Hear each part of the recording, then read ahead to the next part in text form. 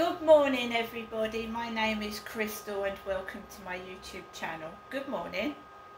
Thursday morning and the sun is now brilliant sunshine and it's really really hot again and it's beautiful and I live near the riverside. There is no need to go out to the seaside or anything like that because I live in a lovely historical place called Rochester right near the castle and the cathedral.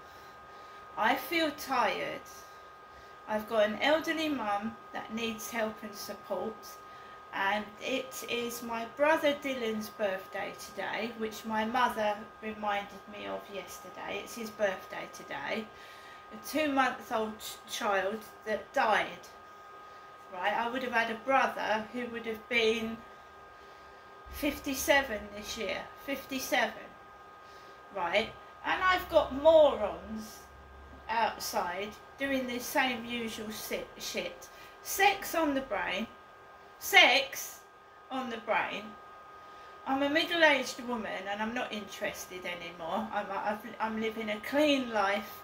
I don't take drugs. I don't drink. And, and I'm celibate. And I've been celibate for over six years now. I'm living a clean, healthy life and I'm not interested in people's perverse behaviour. Not interested in it. The devil doesn't tempt me and he never will. And it is the anniversary of my brother's death. So I'm trying to relax and keep quiet and, and, and just be left alone at this difficult time for my mother. Alexa, what's the time, please? The time is 11.31 a.m. Alexa, good morning. Good morning. On this day in 1967, the world's first cash machine was opened in London. Bank cards didn't exist, so customers were issued with vouchers. You could only withdraw a single £10 note, and you also had to remember a six-digit code. Phew. So good morning guys. I don't expect people to sympathise with me or my mother. But, you know, common decency. If you don't like somebody, leave them alone. Right? Just leave them alone. Don't go near them. Don't harass them. Just leave them be.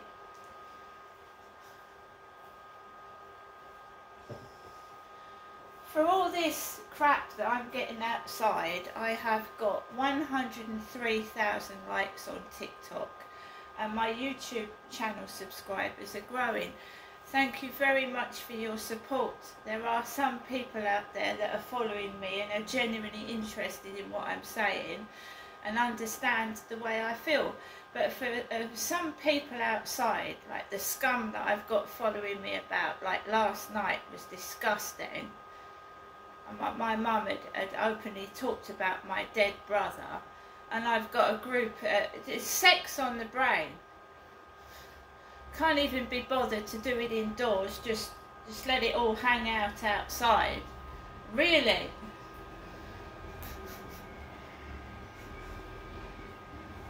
So I've made myself a cup of coffee. I, I went out to the co-op this morning because I needed coffee. I drink a lot of coffee. I like a cup of coffee in the morning. And every time my mum gives me a bit of coffee and I go out to the co-op, which is at the top of Corey's Road, um, I, I know that there's going to be some shit that goes on in there. But I, I thought, you know, I had a dog barking next door the people the people that are bullying me obviously don't look in the mirror in the in the morning because they're nothing to look at. It's nothing to be proud of bullying a vulnerable woman. It's disgusting and horrible. There's nothing I could do about it. I have to put up with it and I've put up with it living here for four years. And um, every time I speak to somebody then I get like not physically attacked afterwards, but people get jealous. If I speak to someone, I get like harassed afterwards. Am I supposed to sit in my flat like a fucking dummy and not speak and not talk to anyone?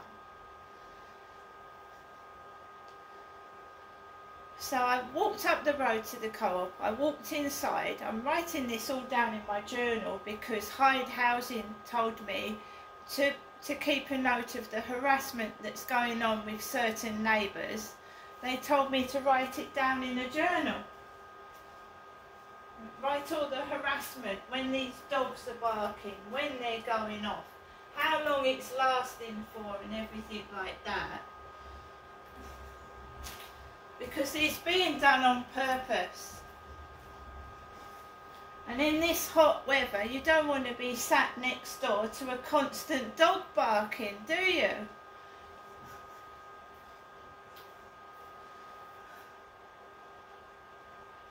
So I grabbed my basket and I just got a few bits and I'm going to put the chocolate bits into the fridge because they, they melt in this weather.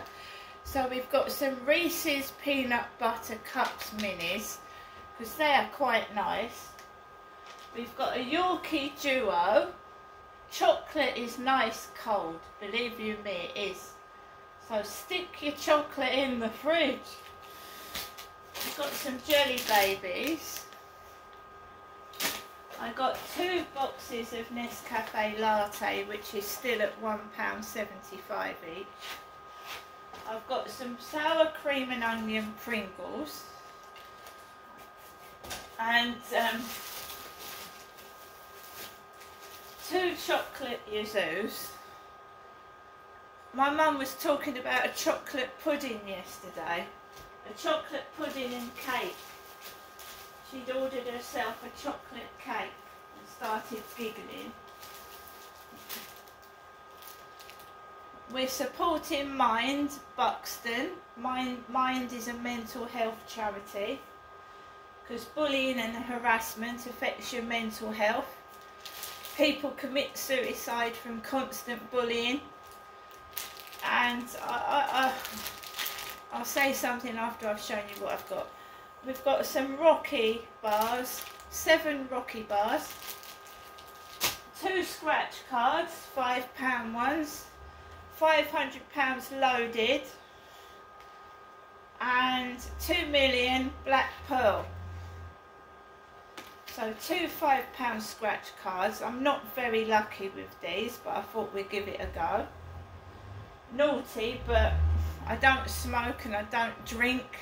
I haven't got a partner, I haven't got to pay out for drink, cigarettes or anything like that. So why not?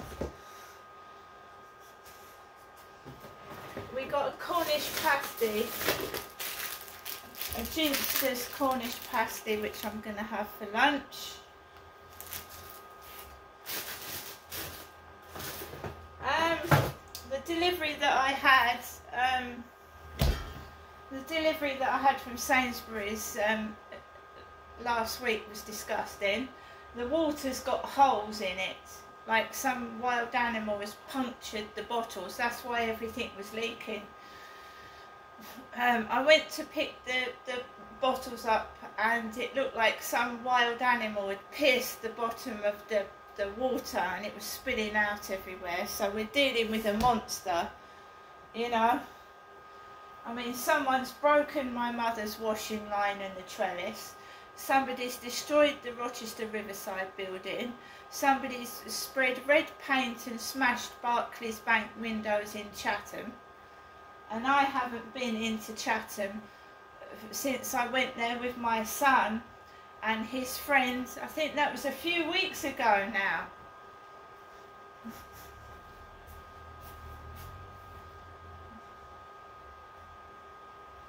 So what I was going to say about bullying is there was a boy in America, and I've said about it before, who was afraid to go to school because he was bullied, being bullied about his appearance. And he was a little kid, he wasn't even a teenager, and he killed himself because of harassment and bullying, and he was afraid to go to school. And I know the feeling because I have to go out and go into the co-op and put up with the shit But I don't kill myself because they're not worth it. You don't drag yourself down to excrement. Shit!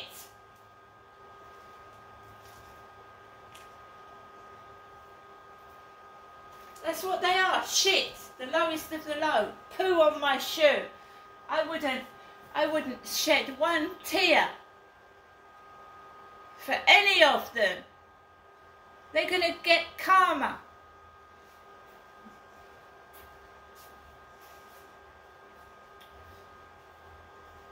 It's no good being nice to these people. They've got no sense. They don't listen. They're selfish. Me, me, me, me, me, me, me. Go fuck yourself.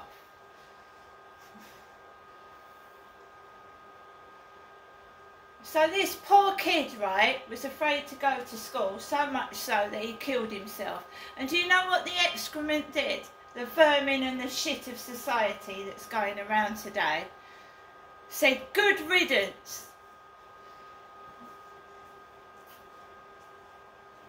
I hate people, and you wonder why. I hate them. You want me to vote for somebody? Vote for somebody that doesn't care, doesn't know I exist. No thank you.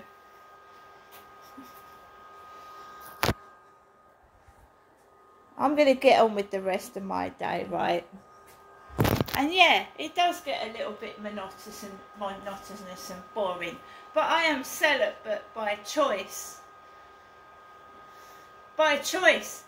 And my God, don't I feel healthier and cleaner and less hassled because of it?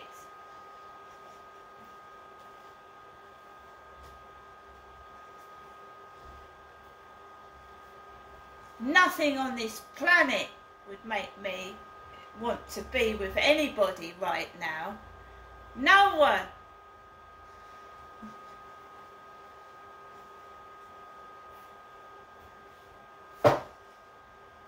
A relationship takes a long time. A true relationship with someone that really cares about you. You don't just pick someone off the street or someone comes up off the street and says, I love you. That's bullshit.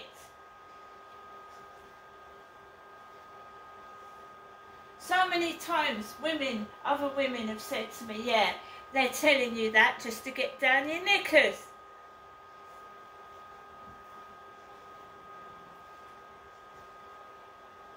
I am proud of myself. I am a strong woman.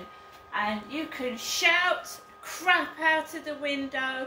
You can think you're driving me to despair, but I'll drive you round the fucking bend because you will not get anywhere with me.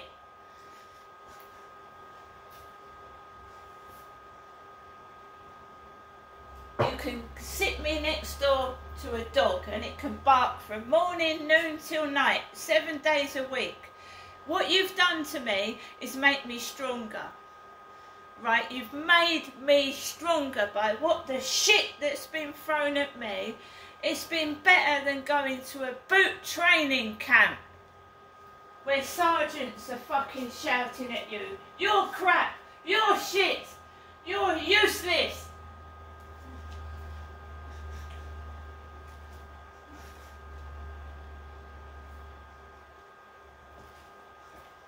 What you've done is make me stronger. That's what you've done with your incessant bullying and fucking shite. And when I see the likes of what's wandering about the streets, right? Fucking that poor woman last night was off her head on drugs. Two blokes.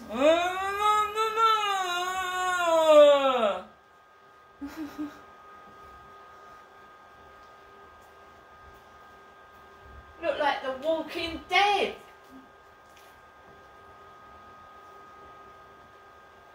believe you me, right? Wait for the right person to come along, right? And if they don't come along, get on with your life.